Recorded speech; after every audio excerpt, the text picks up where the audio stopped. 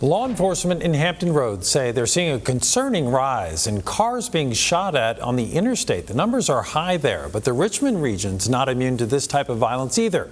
Our Jake Burns joins us here in the studio to break down what is a very alarming trend. Jake? Yeah, Bill, on the same day, police in Hampton Roads put out a statement about 18 interstate shootings there so far this year. We had one on I-95 in Chesterfield County. Police and people we spoke to think it's an alarming trend indeed. I'm very careful, very observant. Cheryl Harris has seen some road rage just walking on Willis Road.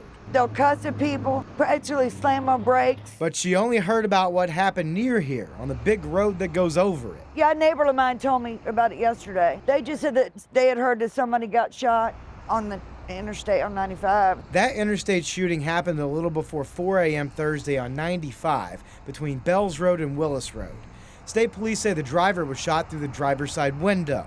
Life threatening injuries were the result of what sources tell CBS6 was likely a targeted shooting. They need help, number one, but what scares me the most, if he was trying to, if he shot, he could have wrecked. There's so many other people on the road, somebody else could have got hurt. It's becoming a trend, it seems like to me. State police say that's true in the Hampton Roads area. There have been 18 interstate shootings so far this year in that region. Locally, the number is not that high, but we've reported on several interstate shootings in the Richmond region over the past year or so. With the virus being everything messed up for so long, and I don't know if it's just they feel like they don't have anything better to do or what it is, but they need to be taken off the streets for sure. Police say the vast majority of interstate shootings are not random, either a targeted act or road rage gone horribly wrong. It's also 100% true that every single one is extremely dangerous for everyone on the road nearby.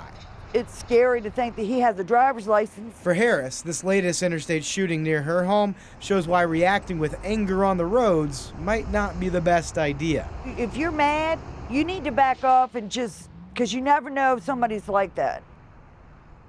Defensive driving is one technique police suggest on the front end of things. They also suggest installing a dash cam to capture any evidence if you find yourself in this horrible situation.